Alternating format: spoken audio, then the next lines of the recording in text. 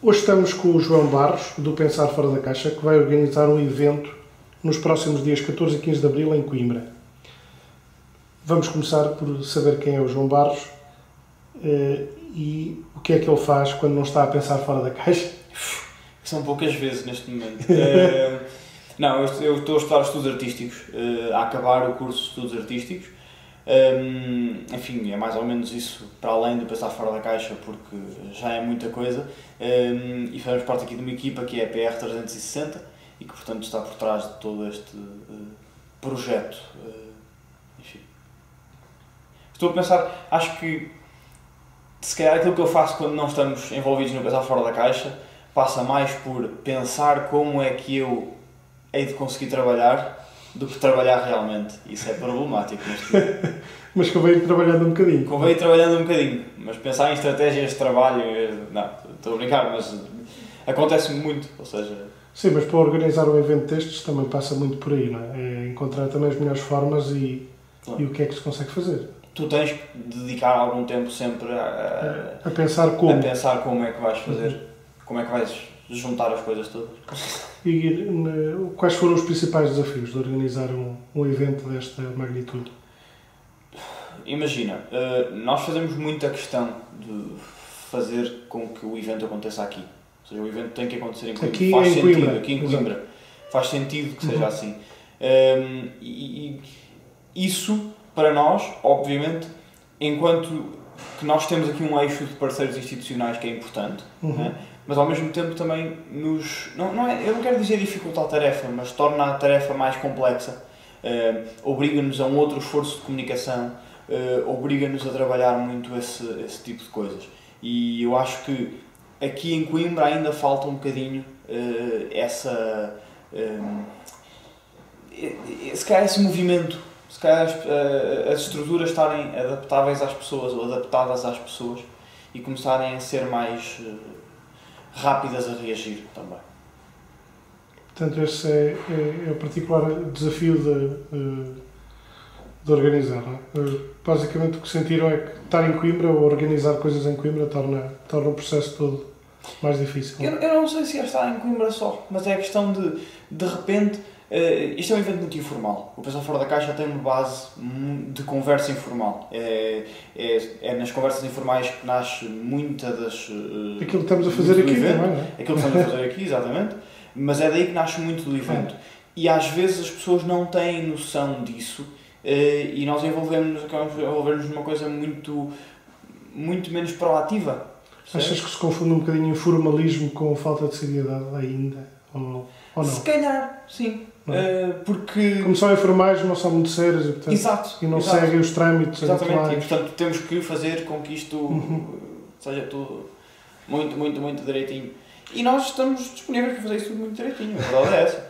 Porque é o triplo do trabalho. A questão é, para quem, e para quem não vos conhece, eh, é que vocês eh, já não é o primeiro evento que organizam, não é? Já organizaram o evento em 2010 e, portanto, quer dizer, já sabem se que têm um pouco já mais experiência do que quem, quem está a começar.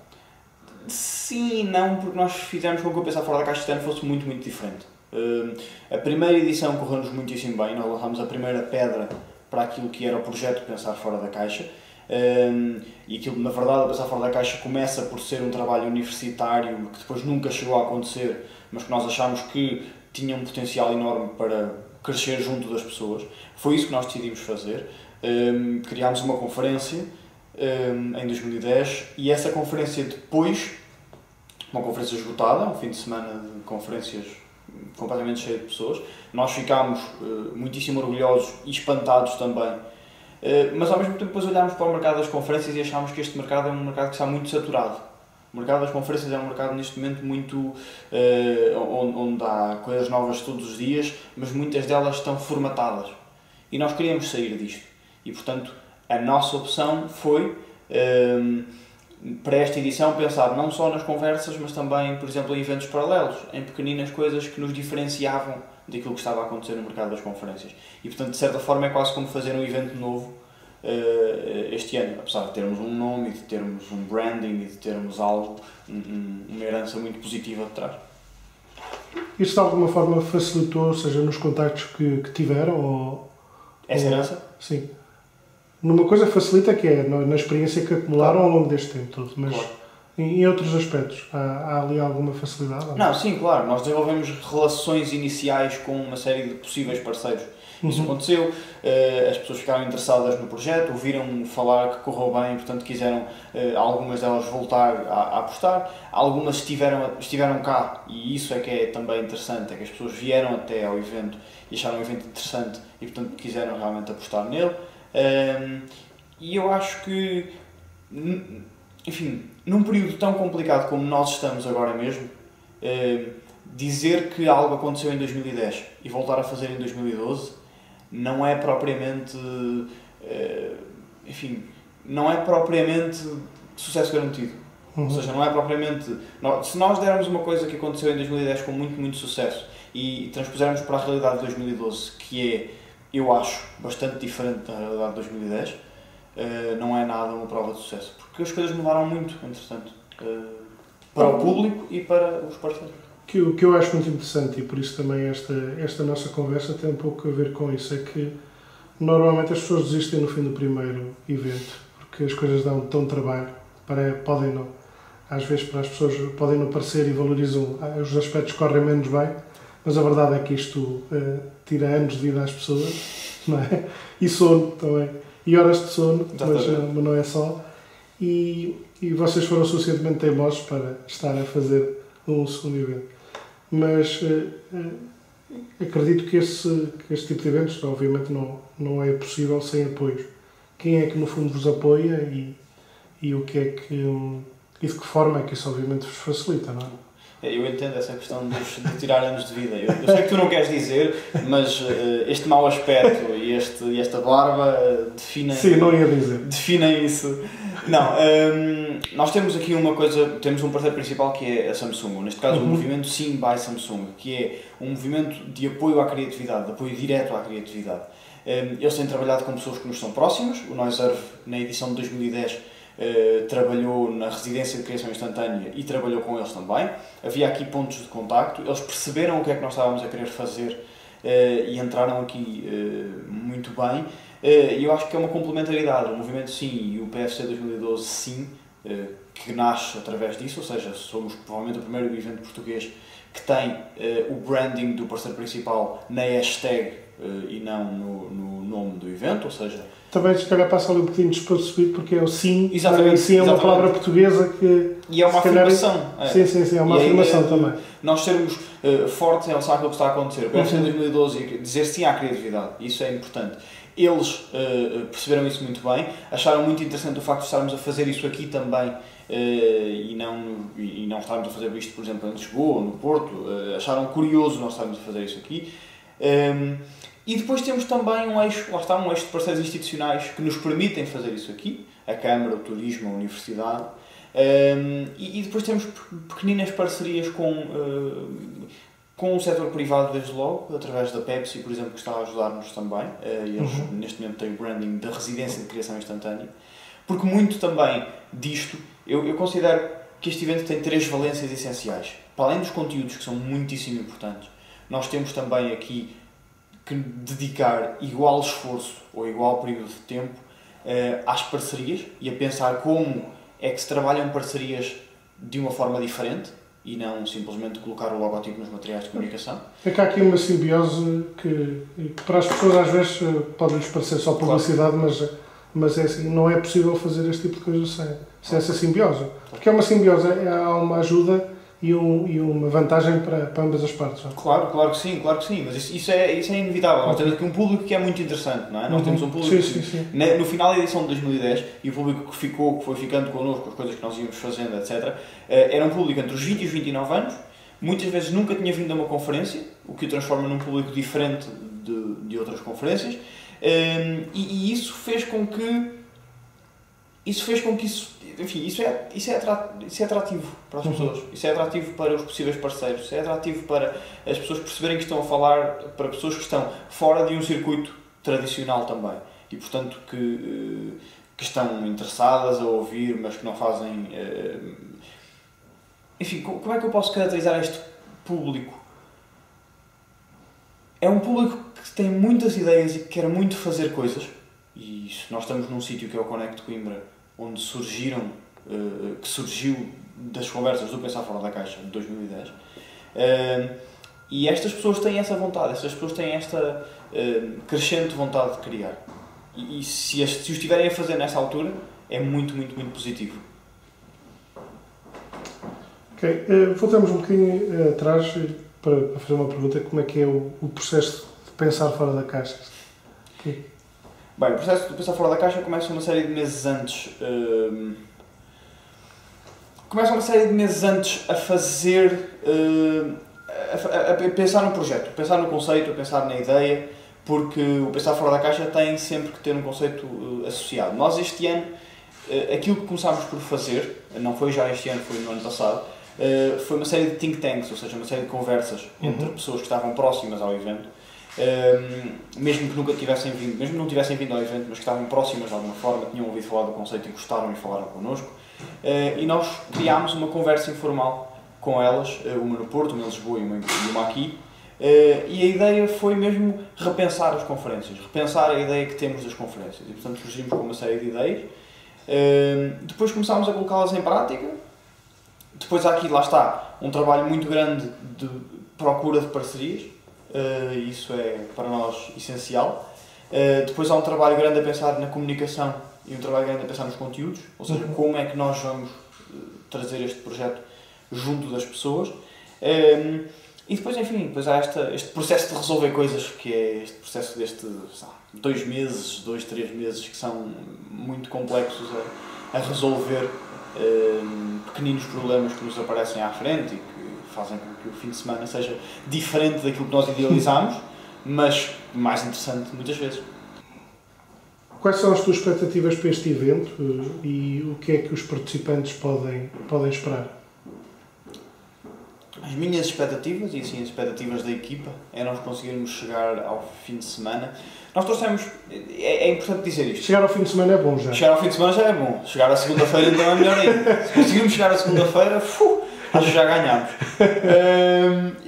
Nós, nós criámos um programa de risco. Uh, o programa deste ano é um programa de risco, porque se em 2010 nós falámos muito sobre empreendedorismo, sobre marketing, sobre diretamente as indústrias criativas na sua relação com, com a economia, nós este ano temos um programa que tem uh, menos a ver com isso e mais a ver com. Enfim, o, tema da edição deste ano, a importância da curadoria numa altura em que toda a gente seleciona os seus próprios conteúdos, é um tema que toda a gente está a pensar, mas que muitas vezes não sabe que está a pensar. Isso é que é curioso. Uh, ou seja, uh, tanto quando falamos de projetos editoriais, tanto quando falamos de, uh, aí do jornalismo, mas depois da programação cultural, tanto quando falamos na, na, moda, no design, na música, está a operar-se uma revolução muito grande e que é o facto de nós, hoje em dia, enquanto público, termos acesso a muita coisa.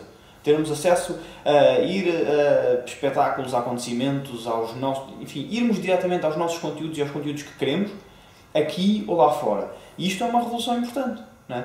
e, e de repente, que, o que é que fica disto uh, para os editores de jornais, para as pessoas que organizam eventos e precisam de criar uma experiência com, com isso, um, ehm, para os chefes que estão a criar uma experiência gastronómica também, numa altura em que a gente tem acesso a todas as comidas, não é? Ou seja, uh, o que é que fica para as pessoas que escolhem e, e que importância que elas têm hoje em dia? Ou porque é que ainda hoje em dia se lhes dá tanta importância também? E portanto, nós estamos, às vezes estamos a repensar o nosso próprio papel. E portanto, a minha expectativa pessoal em relação ao fim de semana de pensar fora da caixa é perceber, perceber esta conversa, é perceber realmente qual é que é o nosso desafio, se conseguimos criar essa experiência ou não. Eh, as experiências da equipa, eh, eh, as expectativas da equipa em relação um, ao fim de semana de pensar fora da caixa são nós conseguirmos levar esta conversa às pessoas. E eu acho que depois a expectativa das pessoas uh, passa muito por ver discutidos alguns assuntos uh, que se cruzam com isto tangencialmente. Uh, estamos a falar de, nós estamos a falar aqui de design, moda, música, gastronomia, jornalismo, etc. São temas muito, muito variados, mas onde há um fio condutor. Eu acho que as pessoas, a expectativa das pessoas passa muito por ver estes temas discutidos uh, sobre uma luz diferente. E em termos de o que é que nós podemos esperar eh, para o futuro, a partir de segunda-feira? Descanso, muito descanso. Um, não sei, a partir de segunda-feira nós vamos repensar também aquilo que fizemos, porque eh, este processo, ao contrário exatamente da edição de 2010, este processo foi muito mais eh, cansativo e deixou-nos muito menos tempo para nós conseguirmos pensar ao longo do tempo. Eh, para nós, por exemplo, nestes últimos dois meses, o nosso trabalho foi continuamente resolver problemas e continuamente enfim, estar a pensar em soluções e a certa altura esgotaram-se também, não é? Como em qualquer processo criativo. Agora, nós temos que depois olhar para trás e perceber o que é que fizemos de errado, o que é que fizemos de positivo, o que é que daqui fica para uma próxima edição e, e depois pensar se queremos fazer ou não uma próxima edição, porque acho que uh, essa é uma coisa que se pensa momento a momento. Um, um dos nossos grandes objetivos enquanto equipa é conseguir perceber de que forma é que nós trabalhamos melhor. Já estávamos a falar sobre isto no início da conversa. Uhum. De que forma é que nós conseguimos incluir, isso, incluir isto nas nossas vidas normais. Porque há muita. Há, há, enfim, o, o teu processo enquanto organizador de eventos, e eu pessoalmente, fora da equipa do, da 360, vinha de fazer outras coisas, de concertos, de, enfim, coisas que tinham menos a ver com conferências e mais a ver com música, por exemplo. Um, o, há, há um momento em que tu passas de. Uh, de absoluta de absoluto pânico ao longo de todos estes meses para tu conseguires pensar as coisas com calma e conseguires chegar a um problema e resolvê-lo com, com duas perspectivas diferentes, por exemplo. Isso é importante. Esse é o, esse, um dos nossos objetivos é conseguir chegar aí no meio deste caos todo. O pânico, entretanto, já passou ou, está, ou até, até sexta-feira? Não, não, não, não passa. Esse, é aqueles pânicos que não, não, não passam. Isso é que é giro também, porque uma pessoa quando não está nestas fases, sente falta destas fases, mas quando claro. está nestas fases, sente falta Até do sossego. Não é? Não é? Isso é o processo normal da coisa. Ok, como é que as pessoas podem escrever no, no evento deste ano, portanto, do próximo fim de semana, 14 e 15 de Abril, e, e depois participar? Uh, muito rapidamente, porque está, enfim, estamos mesmo em cima da, da, da altura, da hora, do joelho, um, o Pensar Fora da Caixa está disponível, uh, os bilhetes estão disponíveis para um dia e para dois dias em todas as estações de correio e em ctt.pt, ou seja, online e em qualquer estação de correio. Custa 13 euros para um dia, 19 para os dois. Inclui acesso também às festas que nós estamos aqui a fazer. inclui acesso também à residência de criação instantânea, que é um projeto que nós achamos que é muito curioso. Uh, e já agora, se me permitires falar sobre isso, a residência... Sim, queria que, que falasse não, não só o evento em si, mas depois também. É que isto, apesar de nós desde o início estarmos a falar do evento, são uma série de acontecimentos para, para, em simultâneo. Sim, as pessoas têm aqui acesso a oito conversas informais, desde logo, uhum. uh, no fim de semana, no sábado e domingo no Conservatório. Uh, depois têm acesso à residência de criação instantânea que é, ao longo desta semana antes do evento, temos dois artistas, o Corleone e a Cruella, que estão a criar num espaço, a intervir num espaço do zero, ou seja, demos-lhes uma sala do Departamento de Arquitetura da Universidade de Coimbra para eles trabalharem do zero e criar. Eles são, são muito, muito, muito interessantes. Eh, são ilustradores que trouxeram um, experiências e trouxeram referências do grafite, do design, da tipografia, etc. Uh, e são muito, muito curiosos. E nós, portanto, desafiámos-los a, nós, através do DJ Glue, que é o nosso curador da residência instantânea de criação, convidámos-los a uh, trabalhar aqui esta semana e depois as pessoas vão poder visitar isso. Depois há duas festas, na sexta no Teatrix e no sábado no Químico, um, eh, com Nuno Lopes, DJ Glue, Nitrónios, Lazy Disco, ou seja, projetos musicais com os quais nos identificamos. E depois há também o projeto editorial que nós estarmos a criar conteúdos sobre a conferência ao longo do, do fim de semana. Uma das coisas que é essencial é que muitas, muitos dos conteúdos que nós estamos a convidar para, para fazer parte do projeto são referências pessoais, ou seja, são coisas, tanto são coisas com as quais nós nos deparamos no meio do processo, e por exemplo o Rui Quinta é um bom exemplo disso. O Rui Quinta está a desenvolver um projeto chamado Fishing for Ideas, um, e é a forma dele, enquanto designer, e designer muito, muito atual e que está a trabalhar em coisas muitíssimo atuais, é a forma dele, enquanto designer, ajudar no negócio da família, que não é bem o negócio da família, é o negócio do pai, uh, de peixe uhum. e de venda de peixe, que é um negócio que precisa ser repensado. Ou seja, a ideia dele é ter uma visão estratégica para os próximos anos de um mercado que não está a ser repensado.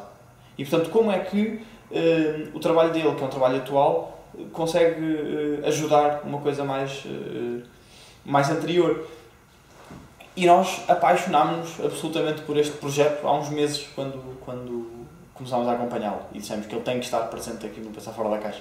Outras coisas são referências que nós temos pessoais já nossas de trás para este mesmo painel do futuro na loja quando está o Rui Quinta, está também Impossible, que é a referência da Telma neste momento, e a Telma, a Telma faz parte da equipa também, e ela trabalha fotografia analógica, trabalha também fotografia digital, uh, mas a Impossible neste momento é quem está a trabalhar as Polaroids, ou seja, neste momento se nós temos acesso a Polaroids é muito por culpa do, da Impossible, uh, e nós vamos ter uma conversa com o fundador da, da Impossible.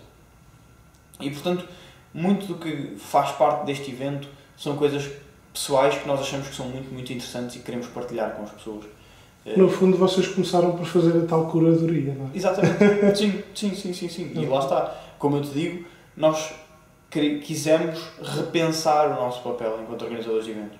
Uhum. Porque é que nós somos interessantes se as pessoas podem ter acesso a tudo isto mandando um mail às pessoas ou chegando a outro país ou a outra conferência qualquer? Ou... Qual é que é o nosso papel enquanto organizadores de eventos? É criar uma experiência diferente. É, é juntar isto tudo, é cozer isto tudo e fazer com que isto saia uma coisa diferente do, do dia a dia das pessoas. Muito bem, acho que conseguimos aqui pelo menos levantar um bocadinho o véu do, do que vai acontecer e seguramente interessar as pessoas neste, neste evento. Resta-me agradecer ao João pela, por nos ter disponibilizado este bocadinho. Uh, foi menos um bocadinho de sono que ele, que ele pôde uh, ter, mas, uh, mas acho que valeu a pena. Muito obrigado. Muito obrigado.